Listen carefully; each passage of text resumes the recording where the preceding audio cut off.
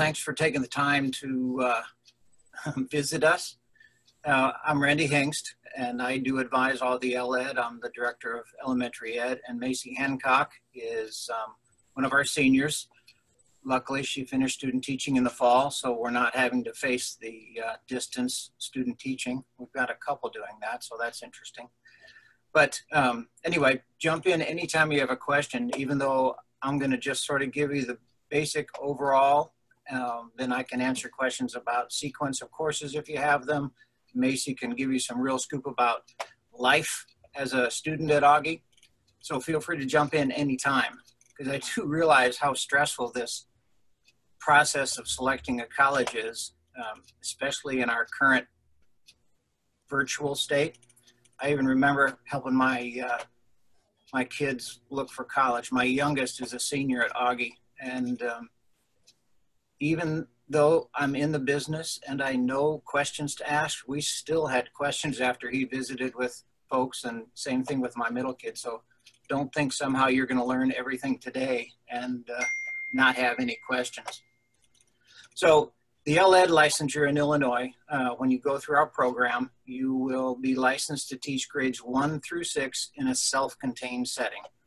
What that means is you can't be in middle school teaching just math, and middle school can be fifth grade, sixth, seventh, or eighth.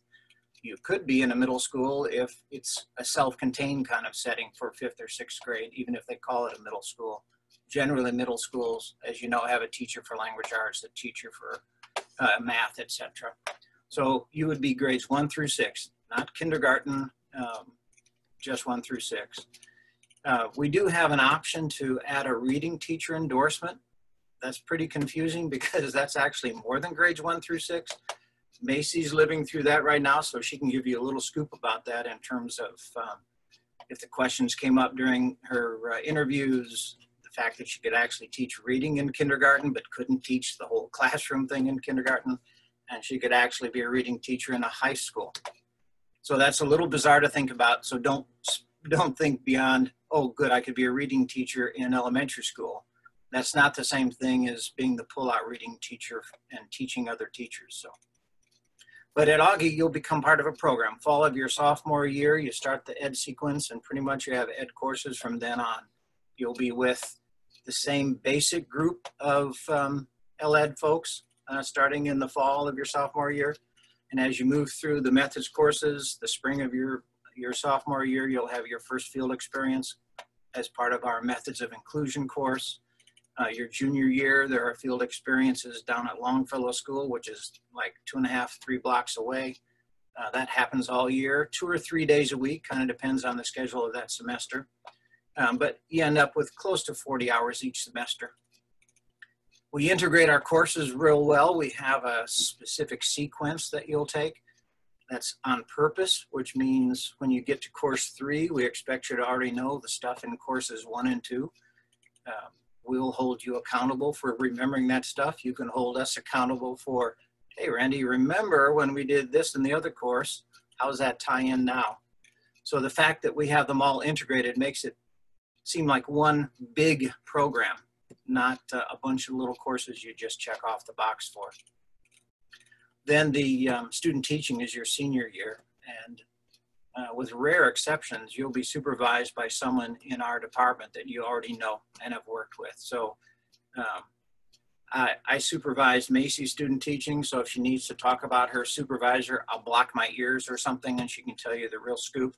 Um, and then, in fact, I supervised almost all of the student teachers this year, just as we shifted to our semesters, which you may not know, this is our first year doing that.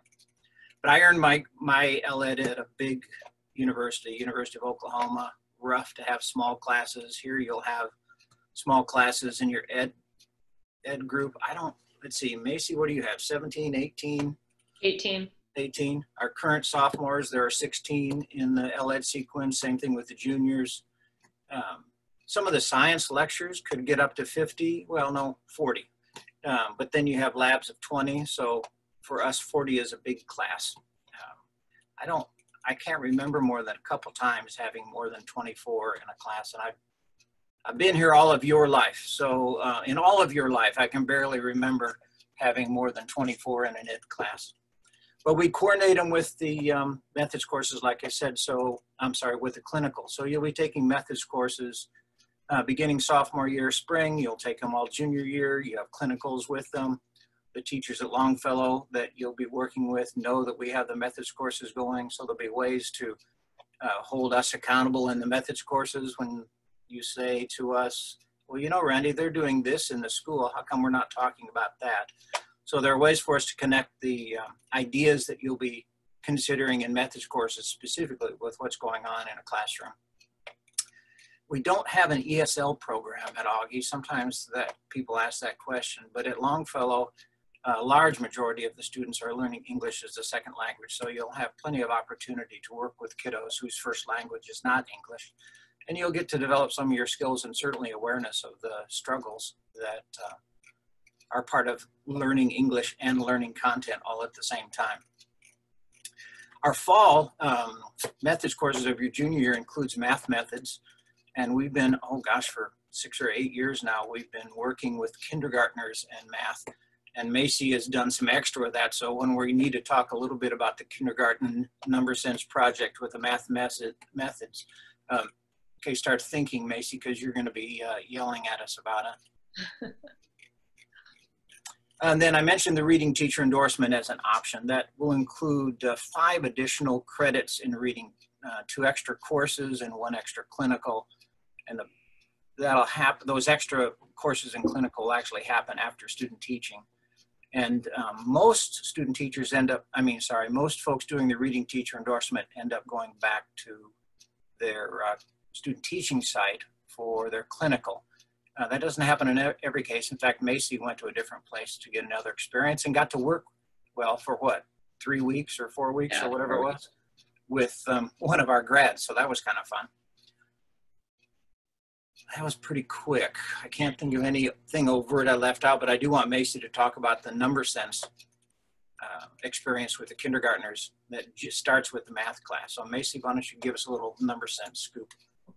Yeah, so um, junior year, we do our math methods class and we make lesson plans and then we're able to actually use the lesson plans with the kindergarten students over at Longfellow. Um, a lot of it is getting data, analyzing it, and then changing our lesson plans the next time we go back, seeing what works.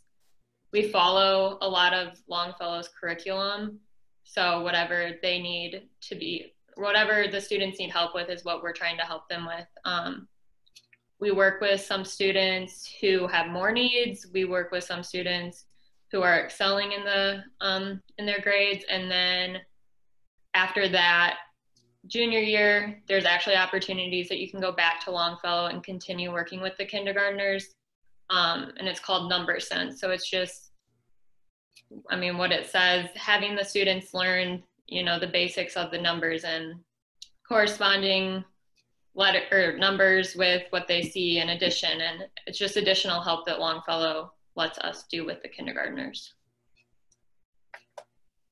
Thank you ma'am do we have some questions that you really need answered Macy can attest that that's probably the longest lecture she's ever heard me give. So All right. If we're not getting a lot of questions from uh, from the audience right now, um, I'll go ahead and start asking them as well. I'm great at asking questions. So, oh, okay, um, great. Macy, can you talk about your cohort a little bit? Um, the other elementary ed students that you work with regularly. Um, I think you had mentioned the size of it, but maybe go over that again. But also um, how you're able to work together. Yeah. So, um, like Augustana is pretty small school. My elementary ed class so the seniors this year, we have 18, technically one graduated in December, so we have 17. But when you start taking classes sophomore year, you get very close with your class. Um, I think my junior year, I had all my classes with those 18 students. So personally, I liked it because you get to know each other better. You feel comfortable with each other. Um, you're able to collaborate with each other just like you would do in a school when you start teaching um, definitely create that like elementary ed community and family Um, our professors are super close. Um, you can go to them with anything and they'll be there for you. So I love that like we're such small and we're so close because we can benefit from each other. The um, entrance to the ed program uh, begins with that first course in the fall.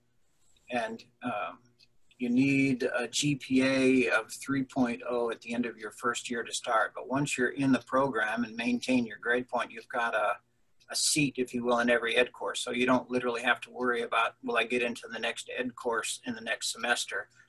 Um, I guarantee you, you won't get uh, the poli sci course necessarily exactly when you want it, or the psych course exactly when you want it, or the religion course. Um, there are times when you have to think, okay, over the whole year, I need to get this, this, and this, and then you'll have a variety of ways to get that done. Uh, but once once you're in the ed program, you've got the ed courses taken care of. So that does take a little bit of the stressor off uh, following through and completing the major. Mm-hmm. All right. Um, our next question then, um, Macy, we'll start with you again here. Um, were you able to study abroad in your time at Augustana? Um, so I did, I used my Augie choice, but I didn't really study abroad. I was um, selected to go to the Florida School for the Deaf and Blind with two other education students and one of our education professors. Um, we spent a week there.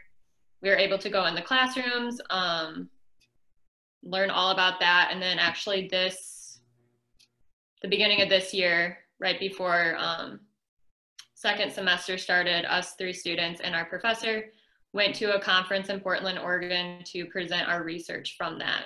So I did not do the education study abroad, but a lot of my friends did. So that's to Jamaica. So I don't know. Randy, do you want to? Yeah, we have um, two education professors that do trips, if you will um, but they're during our J term in January. Um, there is no honest, honestly, there is no time to take an entire semester and study away and complete in four years. So our study away, um, the Jam Jamaica is during the January. One of our other profs uh, organizes a trip to Norway, and they've been going on every other year. Um, I mean, I can't promise that's how it's going to be for the next 10 years, but that's been the pattern. And then there are other study away opportunities during the J term. So if you are interested in going on a trip in, in our J term, odds are really, really good that we can pull that off. Yeah. Mm-hmm.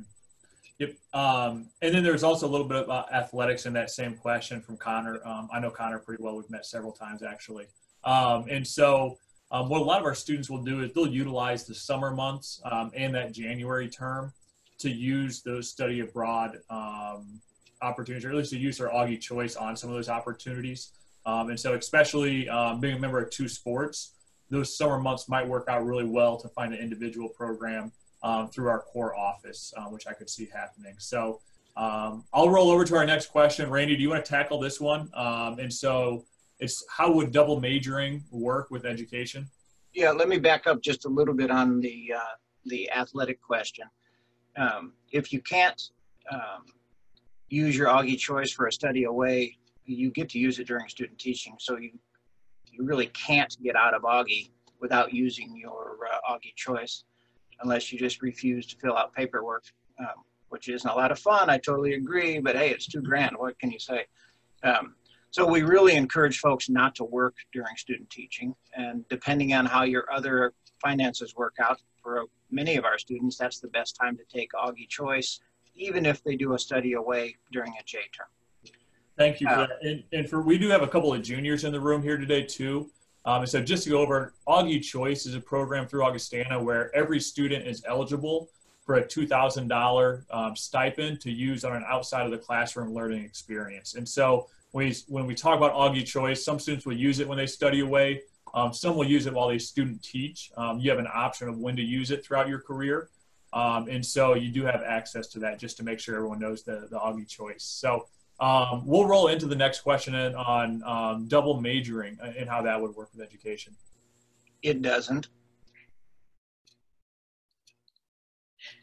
That's about as simple and straightforward as I can get. There is there is no way to double major with El Ed. Doesn't mean you can't explore other things and doesn't mean you can't perhaps do a minor, but that really depends on what the area might be. But you won't you will not be able to double major and complete in four years. I'm not going to try to sugarcoat that. That's just the harsh reality. Um, that's really never been an option since I've been here. It's just there are too many things that uh, the state has laid out for us in terms of what you have to do to earn your license or complete the licensure process. So if you're interested in wondering, oh, could I take any classes in uh, and stop thinking of majors, but think of areas of interest, um, we have students who have minored in theater. I've had students who've minored in Spanish, but then they've done the Ecuador trip in the summer. So there are ways to do more than just the major, but if your heart is set on a double major, let's let's just break that right now. Yeah. Thank you for that. Um, our next question um, would be about question. would be about certification. Oh, sorry. Go ahead. No, you're fine. I have a, like a question going along with that. So I want to like double with major and elementary to be like an elementary music teacher. So like, how does that work? Well, then actually, you're not going through the elementary ed program. You would go through the music ed program. And in the music ed program, you could be a music teacher in an elementary school, um, but you wouldn't be a classroom teacher in an elementary school. Okay, I got you. Thank you. And I can send some specific music ed information to you as well. Actually, my student worker is a junior music ed major here at Augustana, so I'll be able to connect you guys for sure. Yeah, that'd be great. Awesome. All righty. Um, and so certification, um, will I be certified to teach in Illinois is the question we got. Yeah, yeah, that's the grades one through six, that the license. Technically, it's called a license, but And what if they wanted to be outside of the state of Illinois once they graduate? What would that process look like? It depends on the state you're going to. Each state has its own little thing to do. Mhm. Um, and we don't always know all the changes that they go through. Uh, obviously, being where we are, we have a lot of folks that end up uh, going over to Iowa.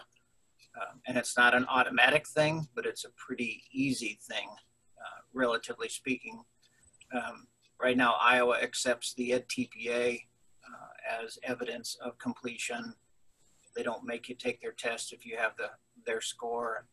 So there's always some nuance, but uh, every place our students have gone, they've at least gotten the one, sometimes two-year provisional license that it's called in many places, um, so that you can get the ball rolling. And the state there tells you, well, you'll need X, Y, and Z before we can give you your standard license. Mhm.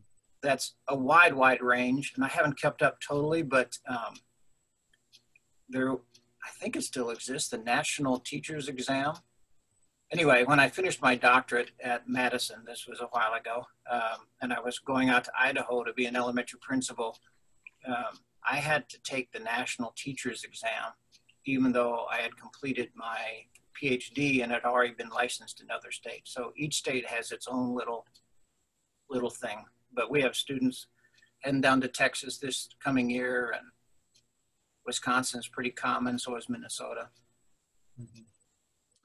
Um, so another question that came in was, uh, you'd said that graduating with an elementary ed degree allows you to teach first grade to middle school. What if you wanted to teach kindergarten? Well, first, it doesn't allow you to teach middle school. It allows you to teach grades one through six in a self-contained setting. If you have a school that's five, six, seven, eight, and their fifth and sixth grade is self-contained, then you could teach there, but you can't teach middle school per se. Um, and kindergarten, you need an early childhood um, ma- major. The state has a whole different licensure program for early childhood. Um, as I recall, that goes through second grade, birth to second grade. We don't have that. So while I don't want to drive away business, um, I can't promise you that we could organize something that you could be licensed to be in kindergarten. We do think it's important that anyone who would teach elementary school has a sense of what goes on in kindergarten, which is why that number sense project and the math methods includes work with kindergartners. But that doesn't get you a leg up on getting licensed in in kindergarten. Thank you. Um, if you guys have any other questions for Macy, feel free to drop those down as well. Um, one for me, Macy, we've talked about Longfellow Elementary several times. I know you guys have both mentioned it. Could you share a little bit more information about Longfellow, um, the access that Augustana students have to it, its proximity to campus? Yeah, so Augustana actually has a partnership with Longfellow. Um, they have had one for how many years, Randy? Let's go with 10. 10 years. Um, so if you've been to campus and you're, um, it's just three blocks away. So we do a lot of our clinicals there, like Randy talked about earlier. Um, there's a lot of um, different volunteering that we can do there.